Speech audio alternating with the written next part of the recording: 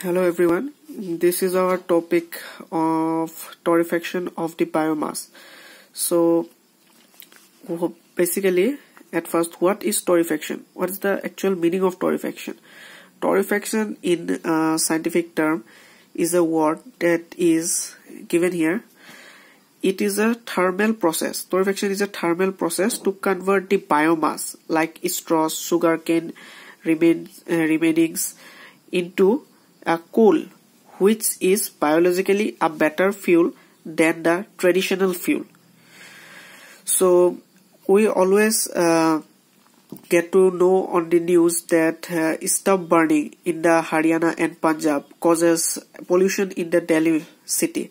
So it is very harsh because the stubs produced by the farmers are easy to be burned at the field only. Uh, so they uh, burn that uh, stuff and don't think about the pollution cause of uh, cause they don't know that the pollution would be so harsh to the people in the Delhi. So there is a technique in which those biomasses like that uh, straws uh, of their rice rice straws and sugarcane remainings that but uh, that other things better to be burned they must they can be used to produce fuel. A fuel that is biologically good for the environment and to the human beings.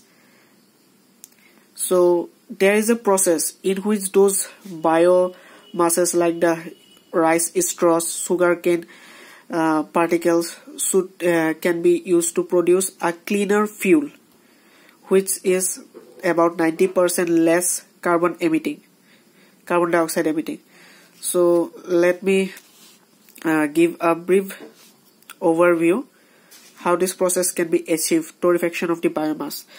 So first of all biomass. Biomass.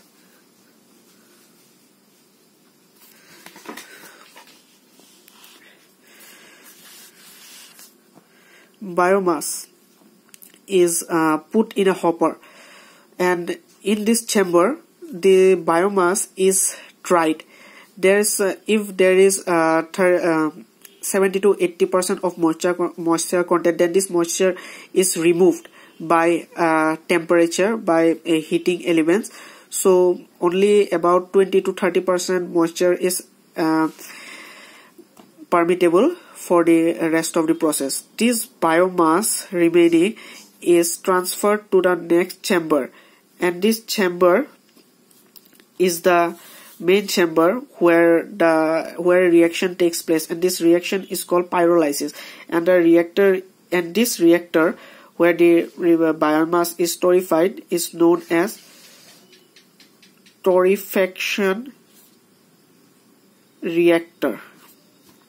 In this reactor a process pyrolysis is achieved uh, to get a cleaner fuel.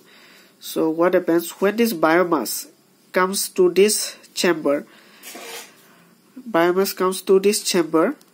For example rice straws are coming to this chamber. This straws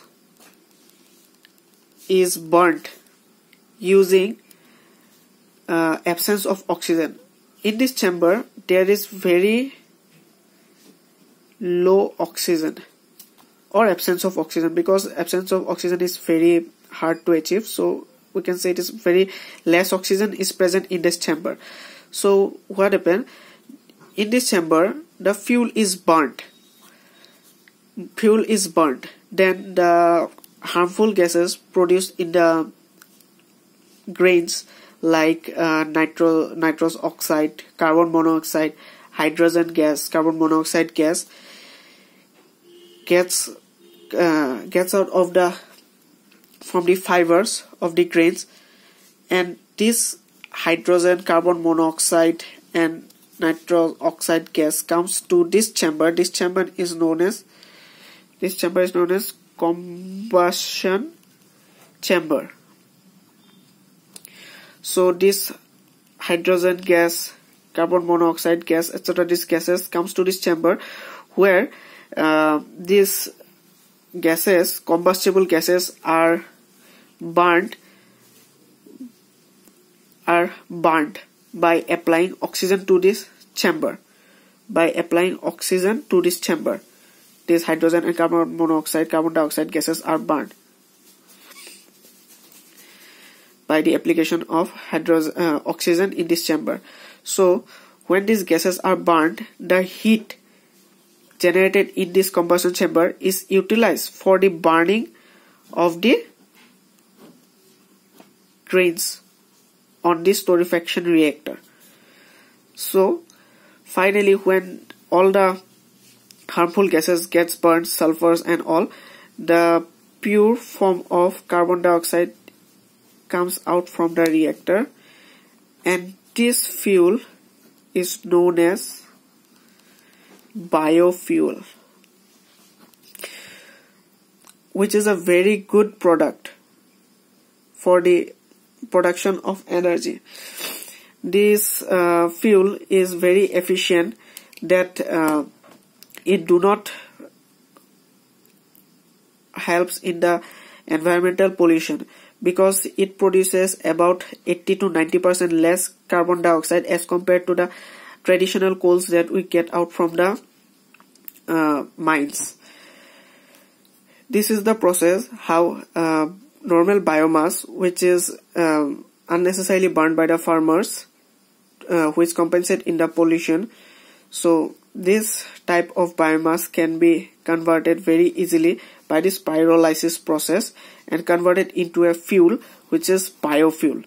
And this fuel is uh, very efficient and it has a very high calorific value. So this is a fuel that must be used everywhere by burning of this uh, biomass. Thank you